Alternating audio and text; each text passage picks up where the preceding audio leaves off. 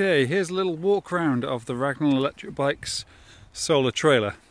So we have three solar panels on each side, 250 watts a panel, 750 watts per side, 1.5 kilowatts total. They're both open like this so that you can get in very easily either side.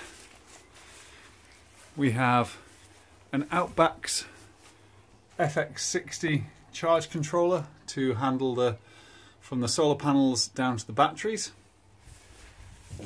We have a 48 volt battery bank down here, properly installed and with a certificate, so an electrical warrant, so it's totally legal. Um, that's, I think they are 260 amp hour batteries. So we've got 12 kilowatt hours of actual lead acid storage. We've also got an Outback, um, I think it's a 1400 inverter. It can essentially do 1300 or 1400 watts continuous or it can do a burst of up to about four or even five kilowatts I think. Outback is ridiculously good um, quality stuff, has amazing reputation for reliability. The batteries have not really had much use at all.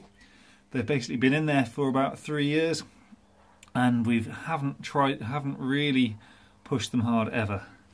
The trailer has got a warrant until, wow, it has just run out it looks like. Yep, runs out tomorrow. Three years old tomorrow. Okay, so um, it'll have a new warrant.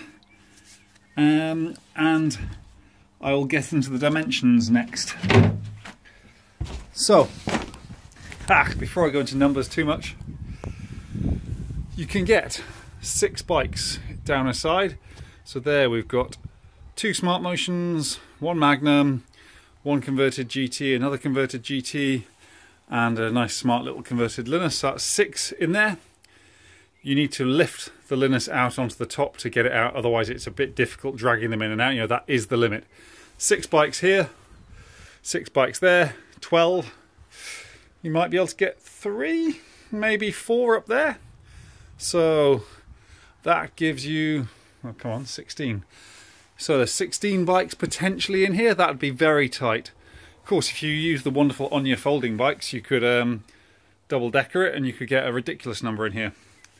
The trailer's overall dimensions, 3560 long, 1850 high, 2010 wide.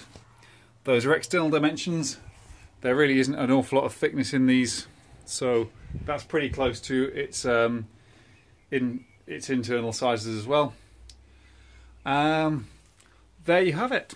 There is the wonderful trailer. Um, hope that gives you a good idea of what it is, what it can do. And um, yeah, if it can work for you.